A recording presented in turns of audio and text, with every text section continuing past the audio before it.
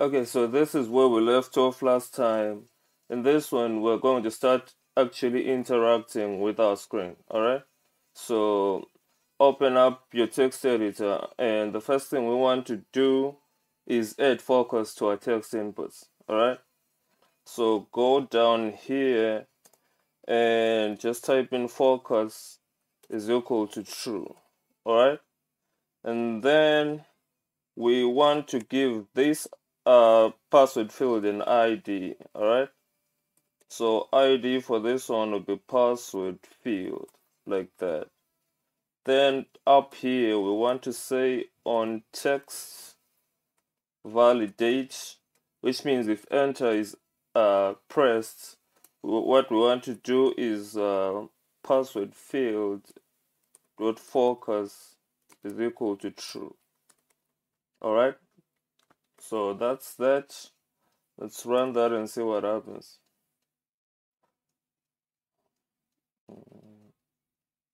Okay, so by default, the username is focused, right? And I can type in, reach enter, and sure enough, our password is focused as well, right? The next thing we want to do is make this field a password. So we can say password is equal to true like that. Run that again. So the characters are no longer visible. So this is great. All right? Now the next thing we want to do is start interacting with this. All right? So let's say on text validate we want to call this function which we're going to define in a minute all right? So validate user all right? And we also want to call the same function if the user clicks the submit button all right? This button. So for that we are going to use on release all right so if the button is released call that same function. And we need to give this one an id as well. So id and call this username field. Great so now we can come to our sign dot main here. And where is it? Right here okay define our constructor. Takes in self and more arguments. All right and then we can just say super here that init and pass in the arguments. Great. So let's create our what did we call it uh, I forgot what we called it. We called it validate user. All right, so validate user like that takes in self and what we can do now is get the username and the password from our fields all right so uname is going to be equal to uh, self dot ids self by the way remember is this class right? So it has this property called ids which is a list of all the ids you defined here all right so self dot ids dot we called it username field i think. So username field we want to get the text of that username field all right actually let me do it like this so user just call this user all right leave it at that. And password is going to be self dot ids dot password password field i think like that. Then we can actually get the username like user dot text and the password Uh, as password dot text. All right? And then for now we'll just say if uname is equal to empty or the password. So if they just pressed enter without entering anything all right? What we want to do is print username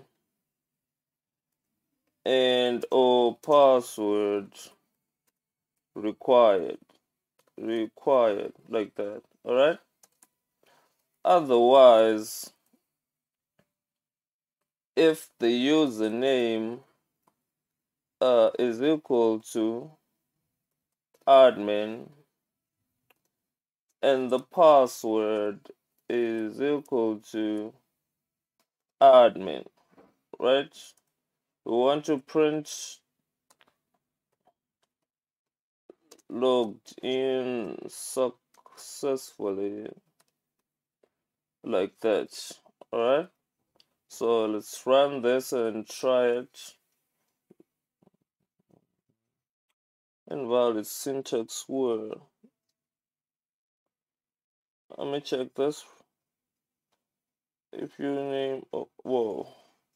Forgot an equal sign there. Go. Run that. And we can now say so if we don't type in anything here we get our error. Oops. So we didn't get our error so this is a problem. Okay we got the error right here. All right? Let's try it again. So admin admin. And we get our nice message saying logged in. Oops. Saying we logged in successfully right here. All right? So let's make this more intuitive all right? So up here create a new label and give it an id of info. And text of that label is going to be empty text all right? And the color no actually let's make this markup all right? So markup is equal to true like that great so then we can come up here get that label and say info is equal to self.ids.info all right then instead of printing stuff we can simply say info dot text is equal to that and since this is an error we want the color of that to be red so oops red is uh arrow GB whoa GB like that I think. And close off our color of course. Then out here let me test this color thing first all right uh right. Whoopsie. Invalid syntax again. And for the text is equal to color right? Logged in successfully. Where is that? Whoa. Right there. Yeah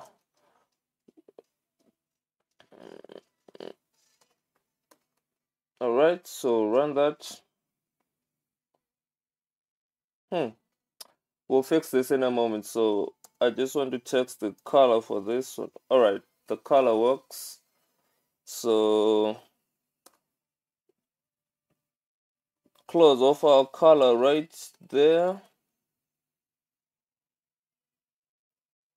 Open the color right here and make it green. So r oops r g b all right so we call it info.text is equal to that.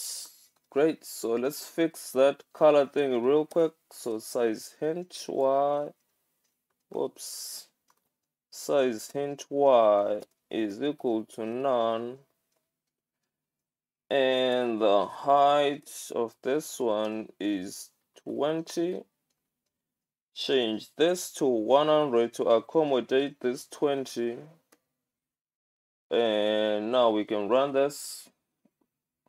Great. So user name uh huh we didn't get anything.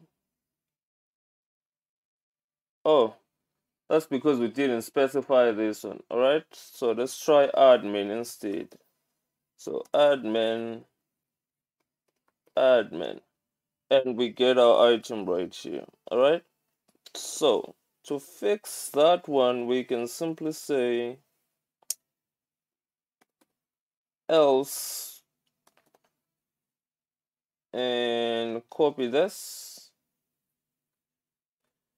paste it in here and say